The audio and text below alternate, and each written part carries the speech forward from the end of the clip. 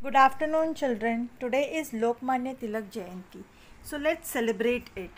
Lokmanya Tilak was a great freedom fighter of Indian freedom struggle.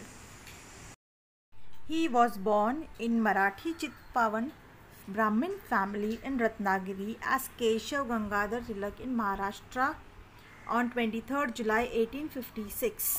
Bal Gangadhar Tilak, whose real name was Keshav Gangadhar Tilak, was a freedom fighter, social thinker, philosopher, teacher, and a journalist.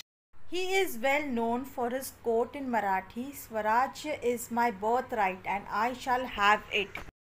In 1894, Tilak transformed the household worshipping of Ganesha into a grand public event, Sarvajani Ganeshotsav.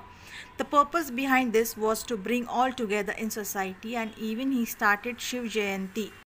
Lokmanya Tilak founded the New English School for Secondary Education in 1880 with a few of his college friends.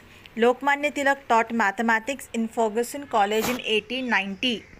Lokmanya Tilak, along with his friend Gopal Ganesh Agarkar, started two weekly newspapers that is Kesari, The Lion in Marathi, and Maratha in English in 1880 81.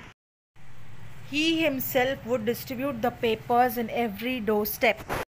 Lokmanya Tilak was conferred with the title Lokmanya, which means accepted by people as their leader. Mahatma Gandhi called him the maker of modern India, and Jawaharlal Nehru described him as the father of Indian Revolution. Britishers called him the father of Indian unrest. Lokmanya Tilak propagated Swadeshi movements and encouraged people to boycott foreign goods. He, with the help of Jamshedji Tata, established Bombay Swadeshi stores. Lokmanya Tilak formally joined the Congress party in 1890. Tilak was imprisoned on a number of occasions that included a six year long stint at Mandalay. He wrote a book Gita Rahasya when he was jailed in Mandalay for six years.